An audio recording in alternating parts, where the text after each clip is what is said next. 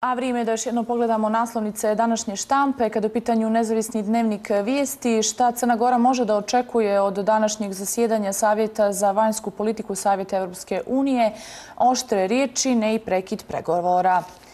Šef kancelarije Svjetske banke za Crnogoru i Bosnu i Hercegovinu, Christopher Sheldon, kaže što prije riješite političku krizu i smanjite javni dug. Tužilački savjet dobio tri kandidature za VDT-a. Čekaju se eventualne prijave poštom. Jovanović, Mugoša i Marković bi u vruću fotelju. Za usvajanje treba strpljenja vremena, nekada i otići do Afrike. Propisi dosta slični u Crnoj Gori, Bosni i Hercegovini, Srbiji i Hrvatskoj, a sve karakteriše značajno istrpljivanje i djece i usvajatelja. Novo nevrijeme, stara dilema, je li održiva gradnja podno ulcinskih bedema. Kada je u pitanju naslovnica dnevne novine e, Dan, fizioterapeuti iz Igala otvorenim pismom obratili se premijeru i ministru zdravlja. Država ne smije izgubiti institut. Na predlog SDT-a, Austrijancu Maksimu Sluckom, optuženom u slučaju Zapad banke, sudit će se u odsustvu, plaši se otmice ako dođe u Crnu Goru. Političari za dan ocijenjuju da sistem otvorenih lista ima i prednosti i mane raditi na demokratizaciji izbornog zakonodavstva. Fond PIO priprema uredbu kojom će pomoći korisnike s razmjenih penzija standard nedostojan pristojnog života.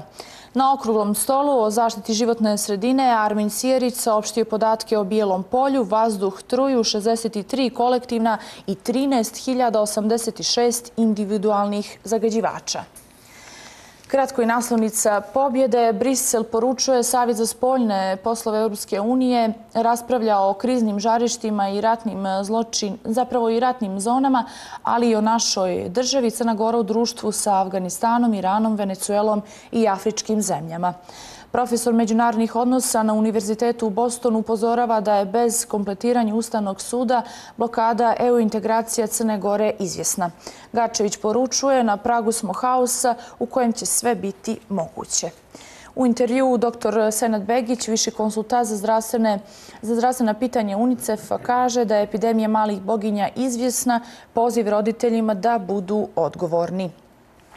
Posljedice nevremena, selo Vočije u manastiru Morača već četiri dana odsječajno od civilizacije, ponestaju ljekovi hrana, krčenje puta počelo tek i juče. Dakle, to su samo neke naslovnice. Onako kako smo jutro si najavili, dnevnu štampu komentariše Aleksandar Dragićević, građanski aktivista. Želim vam dobro jutro. Dobro jutro.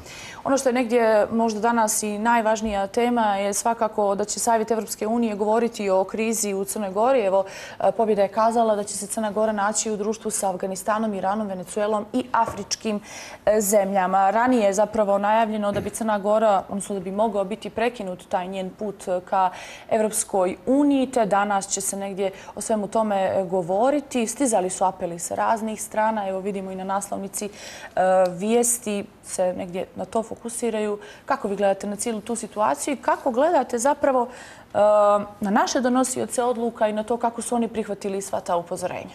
Pa, Što se tiče prekida pregovora s Evropskom unijom, oni su prekinuti već 2018. godine. Nijesmo uopšte zatvorili ni jedno poglavlje, otvorili smo samo jedno i to na zahtjev Hrvatske koja je tada presjedavala Evropskom unijom. A ovo je znači samo jedan od brojnih problema sa kojim se Crna Gora suočava i e, imamo situaciju da nama konstantno u prethodnih dvije godine stižu poruke oštre i nedvosmislene poruke Evropske unije. Nijesam siguran da će biti prekida pregovora pregovora, ali ono što Evropska unija svakako može da uradi i što će uraditi ukoliko ne izaberemo sudi Ustavnog suda, opet to je imperativ da se izaberu sudi Ustavnog suda, mogu da nam uskrate neke od predpristupnih sredstava. Imamo situaciju recimo sa Mađarskom. Vidio sam da je jutro da je gospodin Pantelić ovdje mhm. naveo primjere Srbije ili Turske da nijesu prekidani pregovori, ipak su to malo drugačije situacije, ali imamo recimo primjer Mađarske koje će biti blokiran 21 milijarda eura sredstava koje njima sleduju od Evropske unije upravo zbog vladavine prava i zbog toga što Mađarska ne ispunjava neke standarde Evropske unije. Znači, ukoliko su to spremni da urade jednoj svojoj članici, naravno onda su spremni da pošalju oštru i nedvosmislenu poruku i Crnoj Gori. Ovdje ima zanimljiva povezana vijest gospodina političkog analitičara iz Njemačke Webera da EU ne prijeti praznom puškom. EU će kroz Crnu Goru poslati poruku ostalim, ostalim zemljama Zapadnog Balkana da jednostavno ako ste se prihvatili evropskih integracija, to sa sobom nosi i određenu odgovornost. A to je ono što mi kod naših političkih elita nemamo. Imamo i ovu situaciju sa e, vješću oko ovog zakona o vršiocu dužnosti Vrhovnog državnog tužioca, gdje bez ikakve, e, to je isto bukvalno povezana vijest koja priča o odgovornosti i onome što rade naše političke elite. Znači, mi jednostavno bez saglasja s Evropskom komisijom ili sa Venecijanskom e, komisijom donosimo jedan zakon koji potencijalno ima problem da naruši naš pravni poredak. Iako gospođa tužiteljka Maja Jovanović radi odličan posao, iako e, pruža nevjerojatnu podršku gospodinu Novoviću i to negdje građanima Crne Gore daje nadu da stvarno u Crnoj Gori nešto može, da se e, pokrenuo e, cijeli sistem i pravde i tužilaštva, mi jednostavno moramo poštovati određene zakone i kroz proceduru birati. E, vidio sam izjevu gospodina Muka e, ovdje e, koja je jasna i nedvosmislena da jednostavno ne smijemo se igrati, da će nam biti ugrožena poglavlja 23 i 24, da ćemo dobiti negativne poruke od Evropske unije, ali isto tako vidjeli smo da tu postoji jedan kandidat koji nema ni jednog dana e, u tužilačkom ili u sudskom e, sektoru i e, koji kroz ovaj zakon koji je vlada naprasno donijela može u stvari postati VD DT-a ukoliko tužilački savjet odluči. To stvara jedan e, jako, jako e, loš presedan gdje se jutra bilo koji pravnik, bez e, obzira da znači, unižavam pravnike, i pravnik koji radi u nekoj kompaniji može postati vrhovni državni tužilac bez dana iskustva, a to iskustvo je relevantno za kasnije obhođenje u, u pravnom sistemu. Mhm. E, Kada je u pitanju sami taj strani uticaj u politiki Crne Gore, kako na to gledate? Pa vidite, nije to samo strani uticaj. Mi smo se odredili da je negdje usmjerenje Crne Gore na tom spoljno-političkom planu e, evropske integracije. Mi smo samim tim preuzeli na sebe određenu odgovornost. E, mi smo u stvari rekli da, mi ćemo da odradimo te stvari. Mi smo posvećeni, makar verbalno, poglavlju 23 i 24 i od nas se ne traži ništa više nego ono što smo mi sami rekli da ćemo da uradimo. Ako se sjećate, kada je pala vlada, 43. vlada Zdravka Krivokapića, e, tada se pričalo o deblokadi institucija. Imali smo isti problem. Znači, konkretno, ovaj e, vrhovni državni tužilac je uvede stanje od 2019. godine. Znači, imali smo vremena. Godinama smo znali da će ove godine e, gospodin ustavni sudija, čini mi se i Ličkovi, da u penziju i znali smo da ćemo imati blokiran ustavni sud. Političke elite nisu imali dovoljno odgovornosti da pristupe rešavanju tih problema i sada imamo blokadu sistema sistema. A mi smo obećali da ćemo osposobiti Ustavni sud, da ćemo imati e, sudski savjet, tužilački savjet, tužilački savjet smo ispoštovali i da ćemo imati e, vrhovnog državnog tužioca. Od te četiri neke osnovne stvari deblokade institucija mi nijesmo ispunili tri. I sada imamo ugrož presjedničke izbore koje su tu 19. marta, imamo parlamentarne izbore koji se ne znaju kada će održati, ili sam e, sinoć pročitao u danu jednu zabrinajavajuću vijest da gospodin Damjanović je rekao da čak postoji šansa da se vlada Drita Nabazić koja je pala, može rekonstruisati što je nezamislivo i da može trajati do 2024. godine što je opet nezamislivo. Znači, jako neodgovorno i taj što vi kažete zapadni uticaj je ništa drugo nego hajde dogovorite se i osposobite državu jer ne samo da niste spremni za Evropsku uniju, nego nijeste dobri za sebi i za svoje građane. Što nas onda dovodi do ovog gospodina iz Svjetske banke koji je nama jednostavno rekao ok, morate da sredite javne financije, morate da prestanete sa nekim populističkim mjerama jer ako se vrati vratimo na budžet koji je usvojen u decembru, mislim, pričamo o nekim suludim stvarima da u godini inflacije, da u godini kada ne znamo šta se jutra nosi i kada traje rat u Ukrajini, mi povećavamo plate za 20% eh, svim zaposlenim u javnoj upravi, da pri tome ne targetiramo prihodnu stranu, da nijesmo smislili kakav je to način ili dugoročna strategija koja mi možemo da unapredimo naš budžet. Onda imamo tu spisak želja u vidu amandmana od strane e, poslanika koji su opteretili budžet sa znači, nekim suludim predlozima koji su neostvarivi, ali dalje su ga opteretili i sa brojnim nekim drugim populističkim mjerama koje su kratkoročne. E, problem svake vlade u Crnoj Gori je što ona nema stabilnost, kako političku, tako i ovu u vezi sa trajanjem. I onda se svi trude da ispostave neke rezultate koji su kratkoročni. I onda ne planiramo dugoročne reforme. Znači, ako ste vi vi danas dali nekome 100 eura, on će to 100 eura da, po, da potroši. Vi ga nijeste podigli u, u, iz tog e, socijalnog haosa i vamo se navodi upravo u ovom članku da je 30% djece u Crnoj Gori na granici siromaštva. Nijeste im konkretno pomogli, pomogli ste im kratkoročno, taj novac je otišao, on ne može biti vraćen u budžet. Znači jednostavno moramo kao država da vidimo sa političkim elitama kakve pritiske možemo da napravimo, da se jednostavno dovedu u red, da nas izvedu na izbore, da izglasaju prije toga sudi Ustavnog suda i da se Crna Gora pokrene s mrtve tačke, jer smo u ogromnom, ogromnom problemu. Mm Jesu li naši zapravo političari, javni funkcioneri svjesni u kom smo problemu i da li se oni zaista svoju pažnju usmjeravaju na ona pitanja koja su od jako velike važnosti. Pa, ja mislim da su oni apsolutno svjesni u kakvom se problemu nalazi. Znači, svjesan je uh, svaki građani koji je minimalno informisan. Ali mi imamo problem u Crnoj Gori da se uh, partijski interesi stavljaju ispred interesa države i građana. Mi svjesno urušavamo institucije koje trebaju da nose državu, koje su stvari država, uh, zbog nekih političkih interesa. Jedni druge uslovljavaju sa izglasavanjem sudija Ustavnog suda, vrhovnog državnog tužioca. Iako te institucije trebaju biti nezavisne, imali smo priliku da vidimo jednu jako porežavanje poražavajuća stvar za Crnu Goru da se e, te sudije nacionalno izjašnjavaju, što je bilo nezamislivo i da se niko od poslanika nije pobunio za to, što je opet jako loš u državi koja u svojem ustavu e, ima da je e, država građanska. Onda imamo situaciju da je danas recimo dan novinara, da to mhm. niko nije pomenuo, da imamo napade na novinare. Evo na naslovnicama današnjih novinara, o tome novina apsolutno o tome nema riječi. Svakako mi ćemo se u nastavku programa posebno baviti tom temom.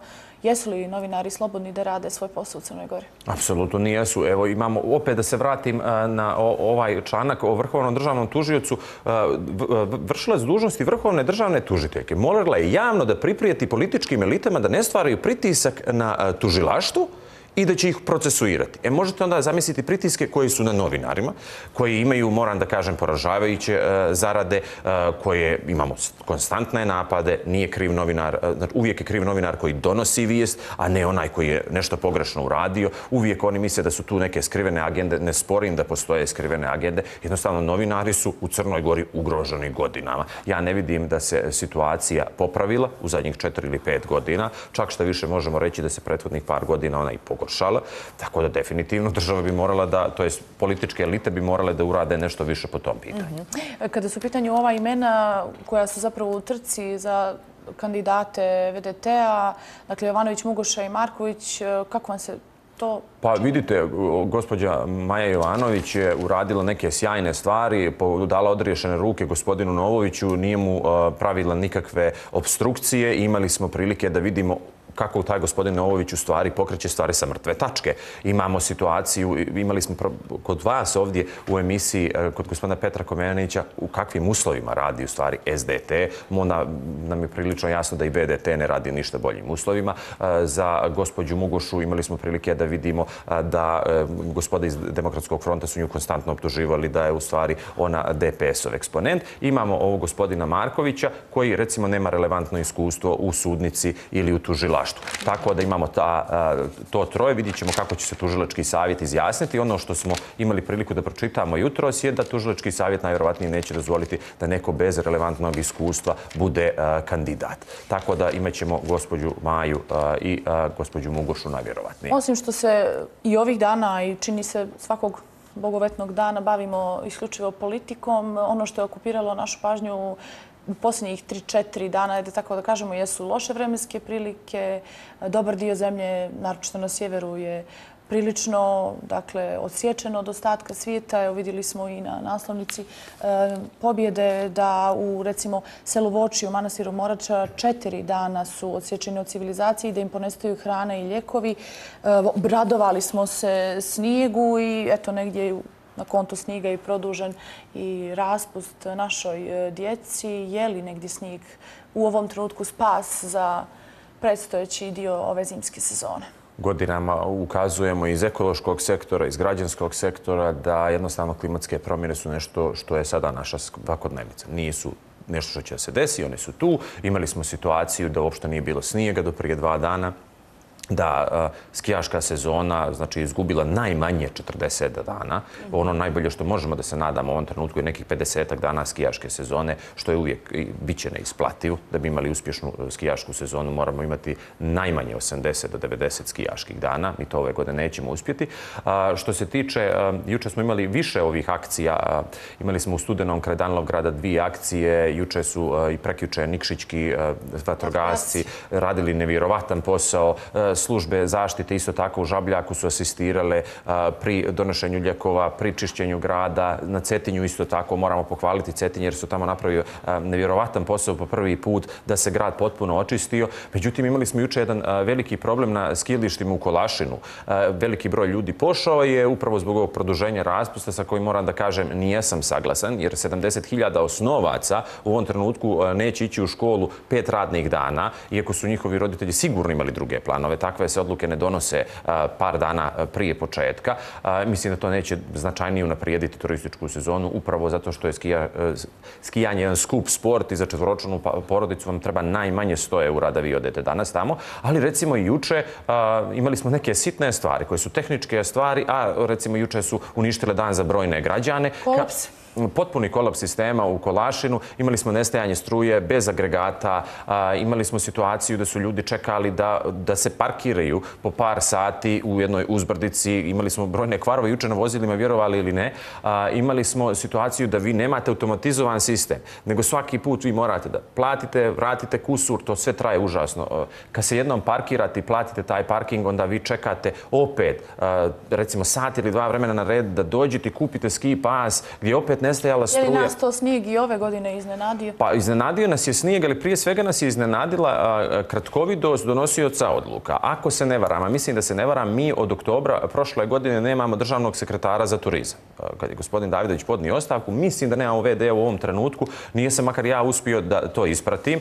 Što nas povezuje sa ovom situacijom kada je državni sekretar obavljao funkciju ministra turizma za vrijeme vlade Duška Markovića. Znači, jednostavno, turizam je naša kor grana i mi se ne bavimo tim dovoljno. Ali kažem, opet, juče smo imali tu situaciju na Kolašinu da su brojni građani bili nezadovoljni, da, znači, čekali su satima, platili su ski pasove, na kraju su neki imali svega pola sata ili sat skijanja, tako da definitivno nadležni moraju poraditi na tome i napraviti bolju organizaciju. To bi bilo to. Nažalost, naša koleginica Nina nas čeka ružno vrijeme vani, moramo, moramo imati obzira. Hvala, Hvala najljepše. Hvala vam.